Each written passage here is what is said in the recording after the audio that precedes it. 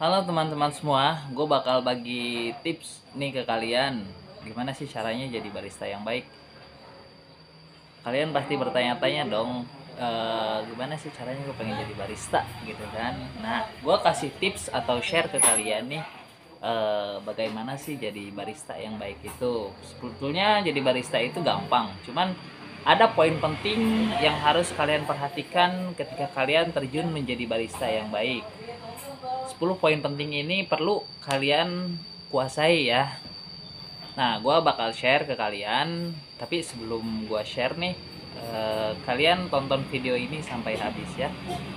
Eh, pertama yang perlu kalian ketahui 10 poin penting itu yang pertama ialah kalian harus menguasai produk yang ada di bar termasuk alat, bahan baku dan lain-lainnya. Oke yang kedua, kalian harus bisa atau mempunyai skill untuk meracik minuman kopi maupun non kopi yang ada di coffee shop yang kalian uh, kerja, ya. Terus yang ketiga, kalian harus mempunyai rasa atau jiwa rasa memiliki. Nah, rasa memiliki di sini anggapannya uh, semua bahan atau alat yang ada di tempat kerja kalian ini anggapannya adalah milik kalian sendiri ya. Terus yang keempatnya kalian harus mempunyai atau memiliki attitude yang baik. Itu penting banget attitude itu penting di semua job desk ya. Terus kalian harus mempunyai jiwa salesman. Salesman di sini kalian harus punya jiwa atau mempunyai nilai plus untuk menjual produk-produk yang kalian produksi atau yang kalian uh, kalian racik lah kasarnya gitu ya.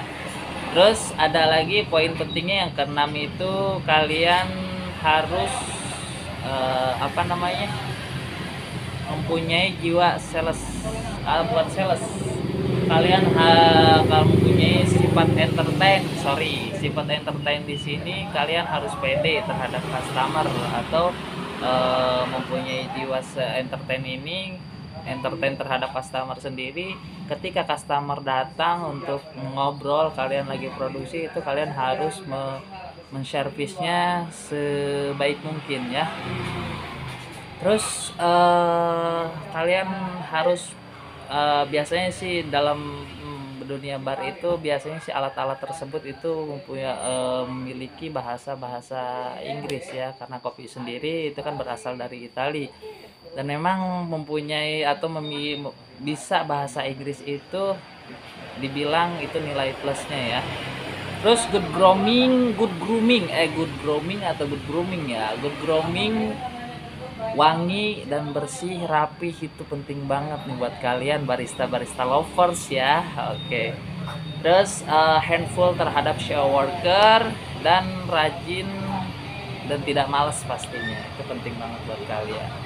Ya itu mungkin uh, poin penting menjadi barista yang baik itu seperti yang saya sebutkan barusan itu penting banget buat kalian. Ya perlu dipahami dan perlu di uh, dipelajari juga. Oke sampai ketemu di channel selanjutnya.